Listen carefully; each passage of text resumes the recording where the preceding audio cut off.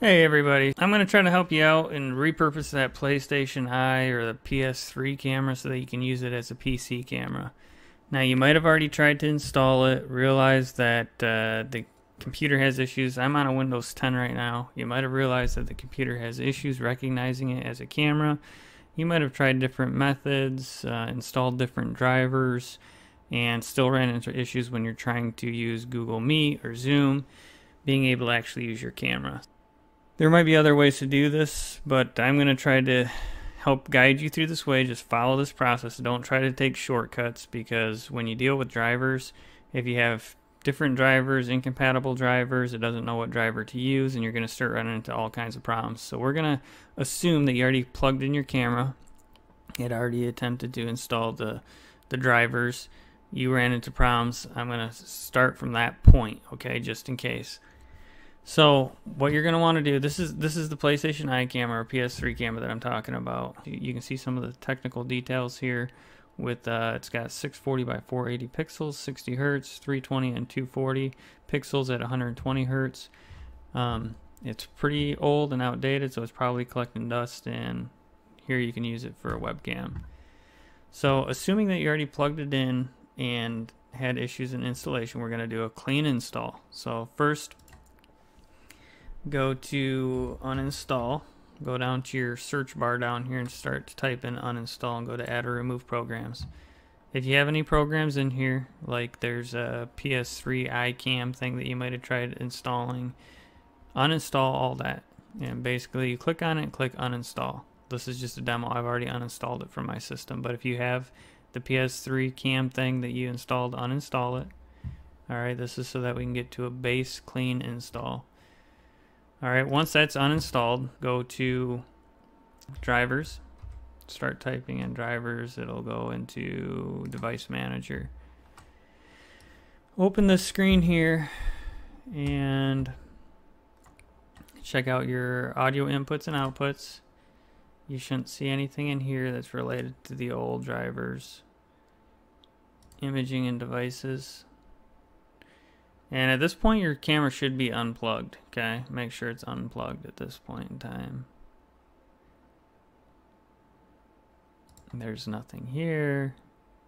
And if there is, this this is just an example. You right click on it and uninstall device. So if there's something that says PS3 cam or webcam, uninstall those from your imaging, audio, sound, video.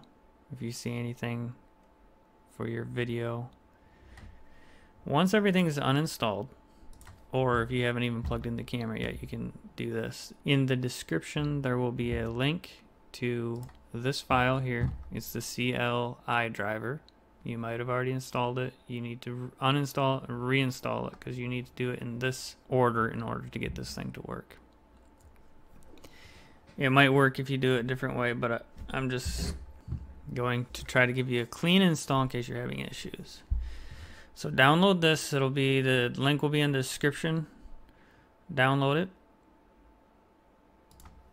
Mm, it'll down. It'll scan for viruses. Download to your computer. Save it. Save the file. Once it's downloaded, open up where you've saved it. And your computer and your camera should not be plugged in still at this point. Install it.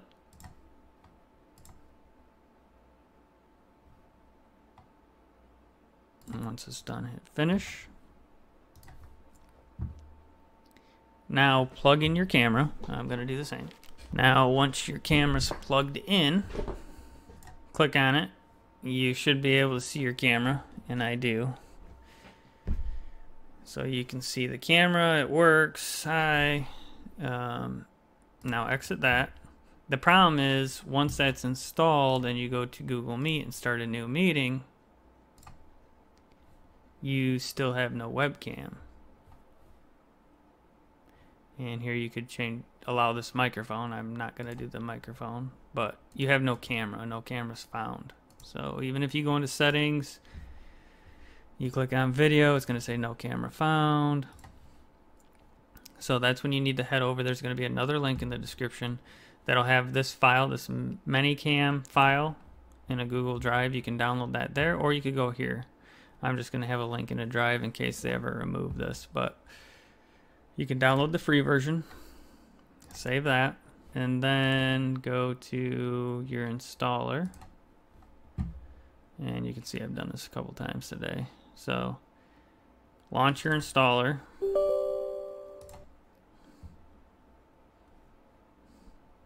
I'm going to see if there's any. Okay, that's good. I like to see if there's any bloatware in here. It looks good to me. Except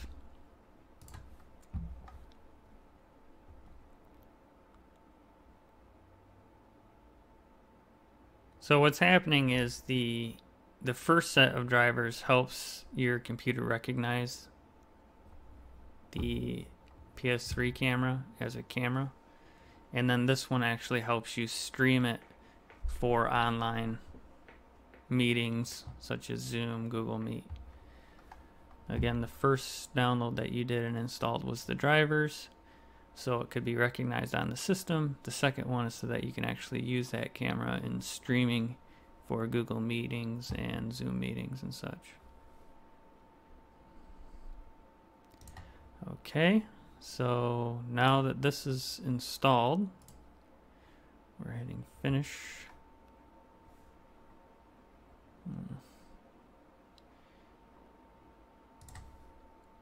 And you don't even have to log in with any of this. You can if you want, but you can just click X on that. I think this can actually be closed too. I don't think it has to be open. Um, but now let's reload this. It says camera's off. So that's a good sign. Camera's starting.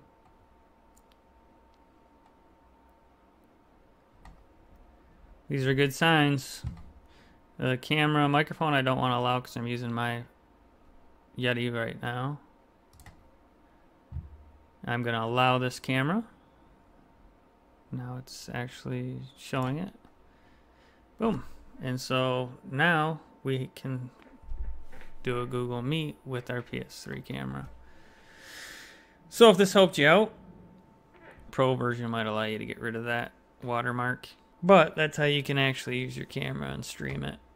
If this helped you, please like, subscribe, and I hope it helped you out. Have a great day.